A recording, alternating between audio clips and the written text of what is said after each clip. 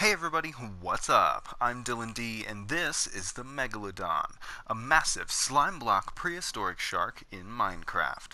With eight optional missiles that can be fired out from within the fish's mouth, this war mech is a force to be reckoned with.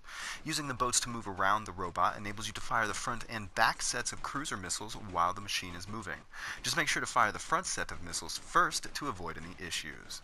The tutorial for the Megalodon will be one of my next videos as I didn't want to leave you guys hanging any longer My bots and command blocks part 2 and the very anticipated Apophis tutorial will be next up before I finish the rest of the request builds.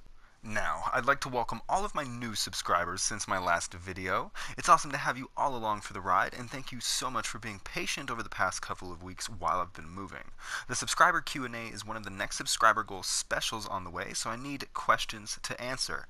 I ask everyone to please obliterate the comments section of this video with questions, big or small, that you've always wanted to ask, and I'll make sure to answer every one I can in an upcoming video.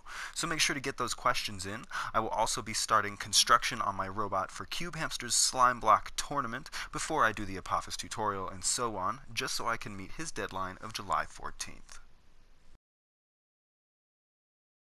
But that's going to do it for this showcase, you guys. I really hope you all enjoyed it. Don't forget to like, subscribe, and share. And I'll make sure to keep this amazing content coming.